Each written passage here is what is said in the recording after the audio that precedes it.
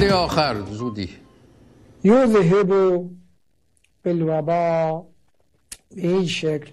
پس اینایی که می‌خوان به وبا به کرونا گرفتار نشن مبتلا نشن مرتب موهای سرشون را شانه کنند.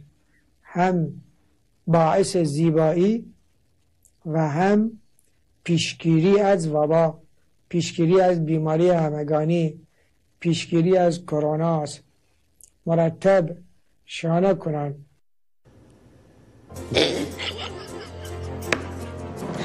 شب و روزگار خوش.